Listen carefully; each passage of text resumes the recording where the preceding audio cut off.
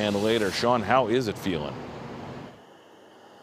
Well, it uh, certainly does feel a little uncomfortable right now. And as you're talking about the heat advisory and the excessive heat warning, if you have to be outside, you might want to hit one of the splash pads that's in and around your area, like here at Wolcott Park in West Hartford. Now, we just stepped outside of the storm tracker right here, and the uh, temperature says 75 degrees already, and it has been uh, rising. It will be hot and humid and could feel like 100 degrees in certain parts uh, around the state. With that said, we want to make sure that you are uh, ready for the heat and you stay safe. The weather can take its toll on young children, also elderly folks, so make sure you check on family and friends. Uh, it can also affect your breathing, so if you have to be outdoors, do not overdo it. Air quality will likely be subpar. Also, if you have to be out in this heat, make sure you find some shade uh, and avoid that direct sunlight for an extended period of time. Also, try not to do anything strenuous early uh, uh in the day. Make sure you do something early in the morning or later on in the evening. Also,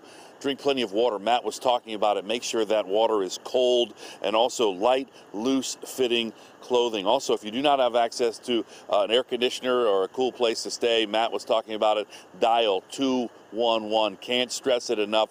That will give you uh, some of the cooling centers in and around the state of Connecticut. Also, uh, you can visit our website at fox61.com or grab your smartphone, grab our Fox 61 News app, and you can punch it in and see where the closest cooling center is for you. But the storm tracker is out and it is showing hot, hot, hot.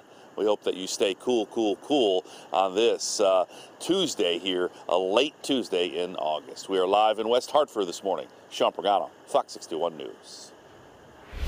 Sean, thank you very much. All right, well, wow, what an improvement we have in Norwalk now. Just a couple minutes ago, I showed you that accident on the northbound side of 95, right at exit 15. Quite a